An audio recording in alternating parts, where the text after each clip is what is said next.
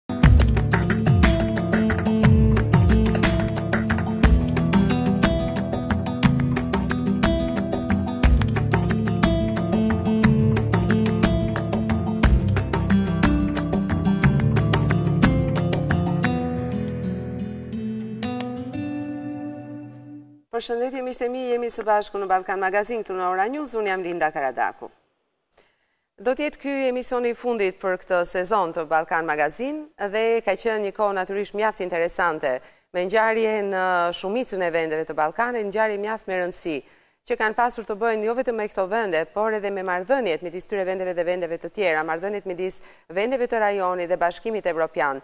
Dhe në situatën gjeopolitike kemi pasur zhvillime mjaft të rëndësishme, të cilat ende pritet që të gjejnë zgjidhje, siç është për shembull rasti i Greqisë, pra kriza greke, apo probleme të tjera siç është gjykata speciale në Kosovë, gjykata e posaçme ndërkombëtare, e cila do të merret me trajtimin e krimeve të supozuara të gjatë luftës dhe pas luftës të kryera të supozuara gjithmonë nga ish anëtarë dhe ish komandantë të ushtrisë çlirimtare të Kosovës. Për këtë emision të fundit do të flasim për këto çështje që kanë të bëjnë kryesisht me Kosovën me zëvendës ministrin për integrime evropiane zotin Ramadan Ilazi.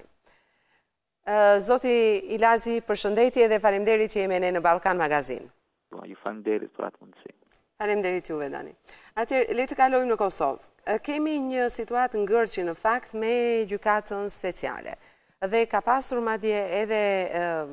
le të themi, fjalë që vijnë nga BE-ja, ku thuhet se nëse Kosova nuk e miraton Gjykatën Speciale, siç nuk e miratoi në fakt, por do të ketë përpjekje të tjera për ta miratuar, atëherë do të dëmtohej rruga e Kosovës drejt BE-së, do të kishte probleme me MSA-në, apo jo? Mendoni që ka një ndikim të tillë, kaq të rëndë? Raportet e Republikës së Kosovës me Bashkimin Evropian janë të organizuara në kuadër të disa proceseve dhe programeve që zhvillohen. Sot në Prishtinë kemi pas kënaqësinë të kemi takimin shpresojmë të fundit të dialogut të procesit të stabilizim asocimit, ku në këtë takim i cili bashkëkryesohet nga Ministri Çollaku i Integrimeve Evropiane dhe Drejtori për Ballkanin Perëndimor në Komisionin Evropian Zoti Pake, është konfirmuar përkushtimi i Komisionit Evropian ndaj përmbylljes së marrëveshjes së stabilizim asocimit,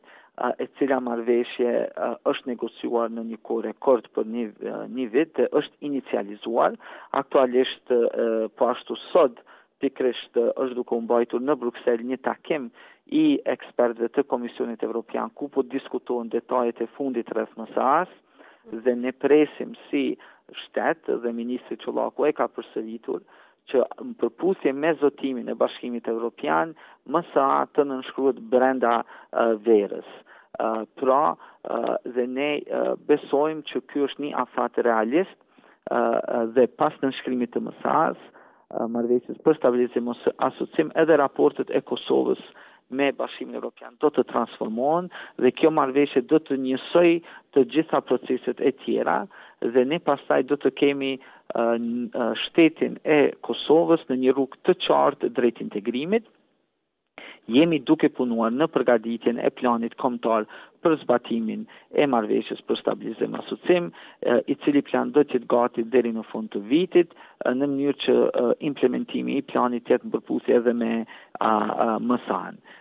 e cila ne shpres, ne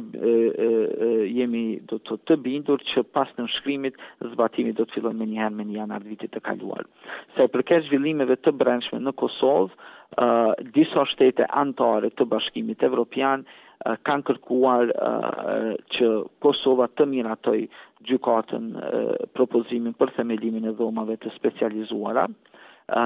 dhe kjo është një kërkesë që po ashtu është përsëritur nga Komisioni Evropian, mirëpo ne në një mënyrë zyrtare nuk kemi një ndërlidhje të uh, procesit të nënshkrimit të MSA-së me, me këtë vendim, megjithatë është një kërkesë e cila është artikuluar në kontekst të marrëdhënieve të Kosovës me Bashkimin Evropian dhe në kontekst të progresit në agjendën evropiane.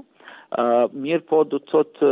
uh, unë jam i bindur që institucionet e Kosovës uh, siç kanë dëshmuar gjithmonë uh, do të jenë aktorë racionalë edhe do të marrin vendimet më të mira në interes të të progresit të Kosovës si shtet, fuqizimit të saj brenda, por edhe avancimit të raporteve me Bashkimin Evropian. Ne kemi thënë që ky do të jetë një vit evropian për Kosovën dhe jemi të zotuar që të ndodhë një gjë e tillë. Edhe kur themi vit evropian, nënkuptojmë që perspektiva evropiane për Kosovën e premtuar nga viti 2003 në kuadër të Samitit të Selanikut do të formësohet përmes nënshkrimit të MSA-së dhe përmbylljes me sukses të procesit të liberalizimit të vizave, pra do të kemi lirinë e lëvizjes së mallrave dhe lirinë e lëvizjes së njerëzve që janë dy shtylla themeltare të vetë Bashkimit Evropian dhe sigurisht që me MSA-në dhe lirinë e lëvizjes së mallrave dhe qasjen që do të kenë prodhuesit kosovarë në tregun e Bashkimit Evropian Kjo rrjedhimisht dhe logjikisht do të ketë edhe një ndikim në zhvillimin ekonomik të vendit, në rritjen e konkurrueshmërisë së kompanive tona dhe tregut tonë dhe do ta bëjë Kosovën pjesë të një tregu prej pesëqind milionë qytetarëve dhe kështu edhe më atraktive edhe për investime të të huaja. Zoti Lazi, ju folët për një plan i cili është në përgatitje sipër në fund të përgatitjeve në fakt dhe që do të duhet të zbatohet plotësisht. Cilat janë pikat konkrete të tij? Atëherë, themelimi i gjykatës speciale, apo në fakt krijimi i dhomave të specializuara në kuadër të sistemit gjyqësor të Kosovës është një obligim të cilin Kuvendi i Republikës së Kosovës, respektivisht legjislatura e kaluar e Kuvendit të Republikës, e ka marrë përmes votimit i cili ka qenë në bazë të gjerë i përkrahur nga partitë kryesore politike në vend dhe nga ai vendim rrjedh edhe tani edhe nevoja për të miratuar edhe ndryshimet në Kushtetutën e Republikës që do të lejonin pastaj themelimin e këtyre dhomave të specializuara të gjithë drejtuesit shtetërorë të Republikës së Kosovës Ua kanë bërë të qartë partnerëve tanë në Bashkimin Evropian që Republika e Kosovës është aktor racional dhe që obligimet ndërkombëtare që i merr edhe i adreson me seriozitetin më të madh dhe unë jam i bindur se institucionet tona do të marrin vendimin në interesin më të mirë të mundshëm të të ardhmës evropiane të Kosovës, por edhe të fuqizimit të shtetit. Sa po ndikon kjo në marrëdhëniet tona me Bashkimin Evropian, duke qenë që shtete të fuqishme të Bashkimit Europian kanë bërë kërkesë për themelimin e dhomave të specializuara, si dhe vetë Komisioni Evropian ka dërguar një kërkesë të ka bërë një kërkesë të tillë, atëherë domosdoshmërisht nënkuptohet që ka një lloj impakti, mirëpo, ndikimi sa i përket MSA-së dhe liberalizimit të vizave Ne nuk dëshirojmë që kjo të ketë një lidhje, sepse MSA-ja është negociuar, është inicializuar nga ne dhe Komisioni Evropian dhe nuk ka çështje të hapura së paku deri më tani të cilat janë politike dhe jo teknike, që po pengojnë nënshkrimin e MSA-së. Prandaj, ne insistojmë që nënshkrimi i MSA-së të bëhet sa më shpejt, brenda afatit që vetë Komisioni Evropian, përkatësisht Bashkimi Evropian, ka përcaktuar që është brenda brenda verës dhe po ashtu procesi i liberalizimit të vizave, siç na është thënë ne dhe siç është thënë edhe kryeministrit Mustafa në takim me kancelaren Merkel, nëse ne përmbushim kushtet dhe ka një vlerësim pozitiv nga ekipi vlerësues që është në Kosovë, një pjesë dhe një pjesë do të vijë nga data 12 korrik, atëherë nuk duhet të ketë pengesa politike për të marrë një vendim në Këshillin e Bashkimit Evropian, që qytetarët e Kosovës përfundimisht të kenë mundësi të lëvizin lirshëm. Mirëpo thashë, që kjo është një çështje e komplikuar dhe duke qenë që vjen si kërkesë nga shtetet anëtare dhe Komisioni Evropian, s'do mend që do të ndërlidhet pastaj në në nivelet të tjera në raportin tonë me Bashkimin Evropian, por përveç kësaj është edhe procesi i dialogut me Serbinë, i cili është po ashtu i rëndësishëm për progresin tonë drejt Bashkimit Evropian dhe një gjë e tillë është në qartë edhe nga përfaqësuesja e lartë Mogherini dhe zyrtarë të tjerë të Komisionit Evropian. Mirëpo, qëndrimi ynë është që Do të thotë, sa i përket MSA-së dhe liberalizimit të vizave, të gjitha obligimet në këtë drejtim janë përmbushur, marrëveshja është e inicializuar, procesi i liberalizimit të vizave është në rrugën e duhur, ne do të thotë kemi dërguar raportin Komisionit Evropian për përmbushjen e, e rekomandimeve nga vlerësimi i tyre që kanë bërë në korrik të vitit të kaluar dhe ne nuk presim që të ketë Vonesa të reja dhe presim një vlerësim meritor nga nga Komisioni Evropian, sepse në bindjen tonë thellë, në masë të madhe Kosova ka përmbush rekomandimet dhe ne jemi të gatshëm të marrim obligimet pastaj në kuadër të procesit të liberalizimit të vizave. Mhm. Në fakt, Zoti Ilazi, është thënë shpesh dhe është përsëritur që presim tani, presim pak më vonë këtë vit, në fakt ende nuk shohim, domethënë, gjëra konkrete dhe të prekshme që qytetarët e Kosovës do t'i ndjejnë, siç është për shembull liberalizimi i vizave. Domethënë, Po, ka një, ka një shqetësim për një ngadalësim të këtij procesi, për një arsye a për një tjetër. Çfarë ju bën që të jeni optimist që tani nuk do të kemi këto lloj ngërçesh, ngadalësimesh në këtë proces? Po, frustrimin e qytetarëve me ngadalësimin ose me e, ritmin e procesit të integrimit evropian e ndajmë edhe ne. E, edhe është një frustrim i cili e, do të thotë ka një bazë për shkak se e, për Republikën e Kosovës gjithmonë kemi disa pengesa të cilat na bëjnë që trajtimi të mos jetë fer ndaj ndaj nesh, sepse janë pengesa që rri, po rrjedhin nga fakti që edhe kemi pesë shtete të BE-së që nuk e kanë njohë Republikën e Kosovës, mirëpo, këto pesë shtete asnjëherë nuk kanë qenë kundër, përkundrazi kanë përkrahur perspektivën evropiane të Kosovës, mhm. prandaj ne insistojmë që Kosova, Republika e Kosovës, përmes MSA-së të largojë çfarëdo mëdyshje se ku është e ardhmja e saj, dhe përmes liberalizimit të vizave të largojë çfarëdo mëdyshje se cilës familje i takon populli evropian, i Kosovës, që është do të thotë popullit evropian. Ky ngadalësim, besoj që është ndikuar edhe nga zhvillimet brendshme, ndoshta ne kemi pasur një vit të humbur vitin e kaluar, për shkak të ngërçit politik, po, pra jemi po, një vit mrapa në proces, për shkak të fajit tonë të brendshëm, proceseve demokratike të brendshme, po ashtu neglizhenca e jonë ndonjëherë në qasjen e kërkesave për sundim të ligjit, po ashtu kanë pasur ndikimin e vet, përkatësisht mungesa e rezultateve të nevojshme në luftën kundër korrupsionit, krimit të organizuar, po ashtu kanë efektin e vet, mirëpo këto janë çështje të cilat këtë vit ju keni parë zhvillimet, kemi pasur disa zhvillime pozitive në arrestimet që janë bërë në, në, në fushën e korrupsionit dhe, dhe, dhe krimit, edhe Kosova dhe institucionet e sundimit të ligjit janë të gatshme dhe janë duke kryer detyrat e, e, e tyre, mirëpo luftimi i korrupsionit dhe krimit nuk është një detyrë që do të përfundojë me liberalizim të vizave, por është një proces që do të kërkojë më shumë kohë dhe do të kërkojë uh, edhe më shumë investime, nga ana e institucioneve të Kosovës, por ne besojmë që për aspektin e liberalizimit të vizave dhe MSA-së është progresi i duhur për të bërë këtë hap. Mhm. Ne nuk nuk themi që edhe në asnjë mënyrë nuk nënkuptohet që përfundon pastaj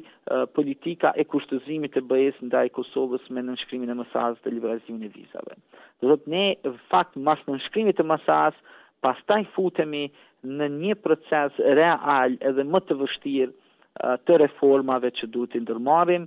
të cilat janë konkrete dhe shumë specifike të përcaktuara nga nga marrëveshja për stabilizim asociim, por edhe nga kapitujt e acquis communautaire pra legjislacionit të BE-së. Prandaj do të thotë thjesht ne me liberalizim të vizave çfarë po bëhet është që po përjashtohet një popullatë po izolohet një popullatë nga nga Ballkani, të gjitha shtetet e rajonit e kanë këtë të drejtë Po ashtu kjo e drejtë është zgjeruar në disa vende të tjera si Moldavia, Kolumbia ose Timori Lindor, të cilat nëse shikohen nga performanca e sundimit të ligjit, nuk besoj se qëndrojnë më mirë se Republika e Kosovës, por ne kemi sfidën e migrimit dhe kjo është një sfidë e cila ka pasur një ndikim jashtëzakonisht negativ, por Kjo është një fenomen i cili ka ndodhur në muajin dhjetor, janar dhe dhe relativisht shkurt dhe është një fenomen i cili është vendosur plotësisht në kontroll. Po dhe kemi deri tani një proces jashtëzakonisht efektiv të riatdhesimit të qytetarëve të Kosovës. Deri më tani kemi riatdhesuar 9.000 persona dhe ky ritum po vazhdon dhe institucionet tona kanë ndryshuar rregulloren për fondin për integrim persona të riatdhesuar, duke krijuar lehtësira të reja për të mbështetur familjet dhe personat që riatdhesohen në Kosovë. Mirëpo, aktualisht ndjenja në Kosovë është që ne jemi duke jetuar në një geto, në një vend të izoluar, prej, prej, prej bashkimit evropian, po edhe prej rajonit në një masë, dhe në një situatë të tillë, në një perceptim të tillë që ekziston në masë në Kosovë, atëherë do të thotë sigurisht që kemi edhe një frustrim të jashtëzakonshëm prej prej prej gjithë palëve, prej gjithë qytetarëve, edhe prandaj ne insistojmë që nënshkrimi i MSA-së dhe liberalizimi i vizave që përfaqësojnë dy vlerat kryesore të Bashkimit Evropian, lirinë e lëvizjes së mallrave dhe, dhe lirinë e lëvizjes së njerëzve, do t'i hapin edhe mundësi të reja qytetarëve të Kosovës edhe edhe vendit, edhe do të do të adresojnë perceptimin që Kosova është një vend i izoluar pa një të ardhme reale në Bashkimin Evropian, pra skeptikëve të të të, të këtij procesi do t'u jepet një përgjigje, edhe do të thotë besoj që pastaj Edhe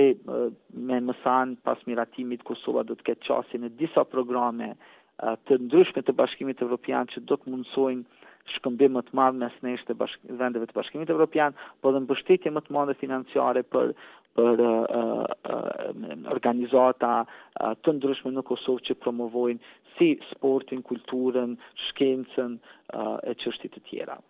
Ka paralajmërime vazhdimisht që çfarëdo ngadalësimi, çfarëdo izolimi nga Evropa, lë gjithmonë e më shumë hapësirë për Islamin radikal.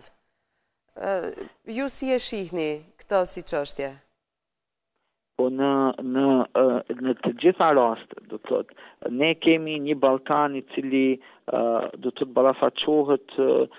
me sfida gjeopolitike po ashtu. Kemi rritjen e ndikimit rus, që është po ashtu